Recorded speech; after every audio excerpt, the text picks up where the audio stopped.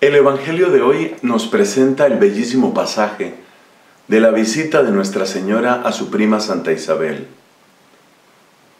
María lleva en sí el misterio de salvación de la humanidad entera. En sus entrañas vive y reina Jesucristo. María lleva a Jesucristo.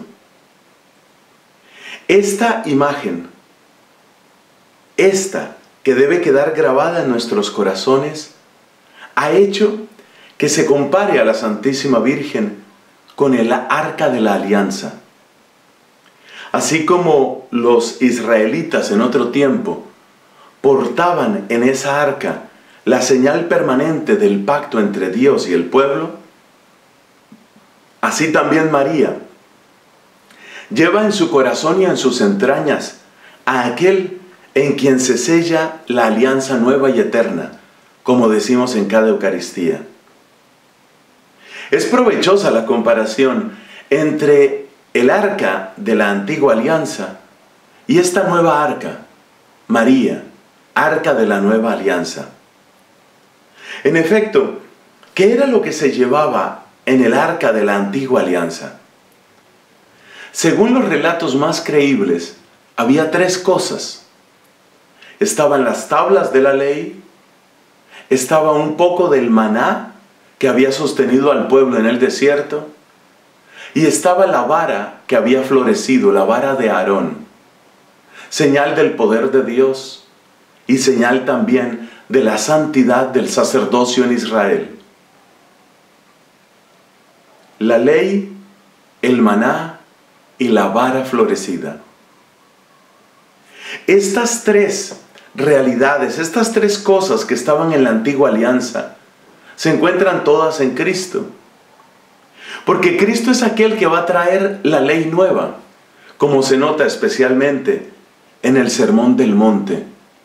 La bendita predicación de Jesucristo, que tiene su encabezado con las bienaventuranzas, es de algún modo la nueva ley para nosotros. Pero sobre todo, según nos enseña Santo Tomás de Aquino, esa nueva ley va a venir con la efusión del Espíritu Santo. Y sabemos de quién brota ese Espíritu, porque el Evangelio de San Juan nos dice en labios de Cristo, os conviene que yo me vaya, porque si yo me voy, enviaré desde el Padre el Paráclito. Es Cristo el que nos da el regalo del Paráclito, ese que Santo Tomás llama nueva ley para nosotros. O sea que hay un paralelo entre las tablas de la ley y la realidad de Jesucristo, la verdad de Cristo, en quien recibimos la ley santa del Evangelio, la ley santa del amor perfecto a Dios y al prójimo. En la antigua alianza estaba el maná, que sirvió de sustento en el desierto al pueblo de Dios. Pues Cristo es nuestro maná, lo dice él mismo. Yo soy el pan vivo bajado del cielo. El pan que ha dado mi Padre soy yo. Yo soy el pan de la vida. Él es nuestro maná. De modo que se cumple a la letra que el hombre comió pan de ángeles. Porque así como los ángeles del cielo no solo contemplan, sino que se alimentan del Hijo de Dios, así también nosotros, ya desde esta tierra, mientras vamos en el desierto de tentaciones y dificultades de esta tierra, ya nos alimentamos del maná que es Cristo. O sea que también María llevaba este maná, llevaba este pan del cielo bendito. La vara de Aarón, la vara florecida, es señal del sacerdocio y es señal del poder. Y en ambos sentidos se cumple esta imagen en Jesucristo.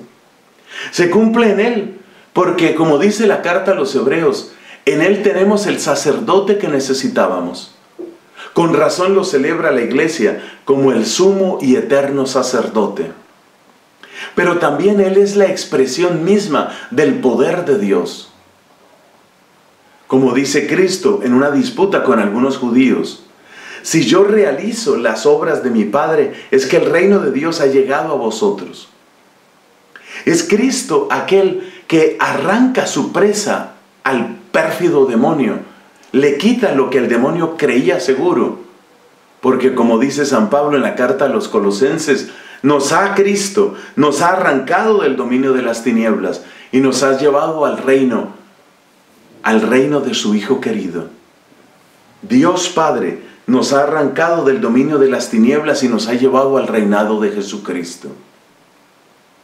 De modo pues que la expresión del poder de Dios está fundamentalmente en esa cruz, ante la cual desaparecen y se deshacen los pecados, frente a la cual tiemblan los demonios. Así que el arca de la antigua alianza tiene perfecto paralelo en el arca de la nueva alianza, que es la Santísima Virgen. Acojámosla pues, recibámosla.